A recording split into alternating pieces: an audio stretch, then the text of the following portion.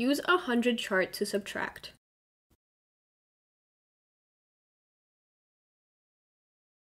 Forty-seven minus five. We start at forty-seven. Move left or subtract five ones.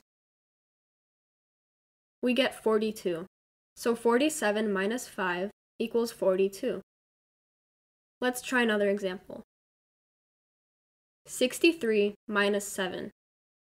Start at 63. Move left or subtract 7 ones onto the next row. We get 56. So 63 minus 7 equals 56. Let's try another example. 79 minus 40. 40 is 4 tens. Start at 79 and move up or subtract 4 tens. We get 39. So 79 minus 40 equals 39. Let's try another example. 96 minus 34. 34 has 3 tens. Start at 96 and move up or subtract 3 tens.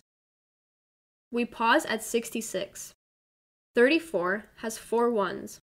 Continue at 66 and move left or subtract 4 ones. We get 62. So 96 minus 34 equals 62. Let's try another one. 73 minus 48. 48 has 4 tens.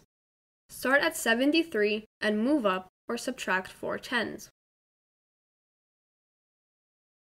We pause at 33. 48 has 8 ones.